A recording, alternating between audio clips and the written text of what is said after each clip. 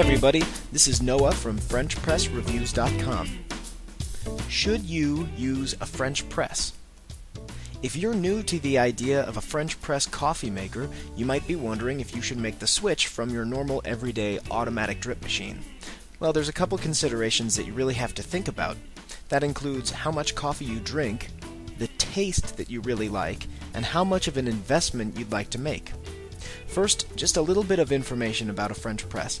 The process involved in preparing your coffee with one of these coffee makers is different than preparing it with a drip machine.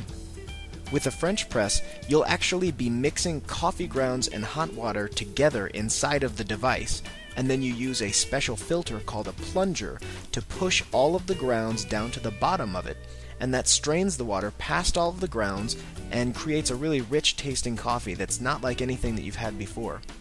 So, the first consideration that you have to think about how much coffee do you drink? Some coffee drinkers will make a single pot of coffee and drink the whole thing within just a few hours. Other people will take an entire day just to drink about half of a pot. A French press doesn't make as much coffee as a drip machine usually does. So the amount of coffee that you drink is a really important consideration when you're trying to decide if you should start using a French press instead. Most presses are measured in European cups, and they'll measure out to creating 4, 8, 10, and sometimes 12 European cups per use. A European cup is half the size of a standard American cup, so if your French press makes 12 European cups per use, really you'll be getting about 6 American cups. That's about 4 coffee mugs full. An automatic drip machine usually makes about 10 American cups, maybe even 12. The second consideration is what kind of coffee taste do you like? The most important thing to most coffee drinkers is the taste. If you really enjoy the taste that you get from an automatic drip machine, then the answer to should I use a French press might be no. If you're happy, why switch? However, if you find that you're creating something a bit more strong than you would like, then you might want to check out a French press. A lot of people think that the coffee that they get from a drip machine is acidic tasting or bitter, and usually you don't get that kind of response when you drink coffee from a French press. Because the coffee grounds and water sit together while it's brewing for a number of minutes, more of those gentle flavors and aromas are extracted into the water, and that makes a more bold tasting coffee.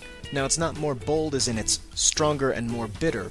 It's bold in the sense that the coffee taste is more present. So, if you really like the taste of coffee, you'll probably enjoy the taste that you get from a French press. Another thing that a lot of coffee drinkers like about using a press is that there's no paper filter. A lot of drinkers think that a coffee filter in a drip machine will actually transfer some flavor into their coffee, which would be a negative thing. If you think that using a paper filter is changing the taste of your coffee, you should try to give a French press a try because they don't use paper filters. The final consideration that you have to think about is what kind of investment do you want to make? Whether you use an automatic drip machine or a French press, there are models at different levels and ranges of prices. Generally speaking, a French press will just be a little bit more expensive than a drip machine when you consider how much coffee they make. However, it's important to remember that a press will usually last for years and years, while a lot of drip machines only last for about a year or two. So, over the long term, a French press might actually be a better investment. So overall, if you're asking whether or not you should switch to a French press, chances are good that you're not really satisfied with the coffee that you have now. So if you want a more rich and bold and full taste in your coffee every morning and then throughout the day, I would suggest that you try out a French press coffee maker.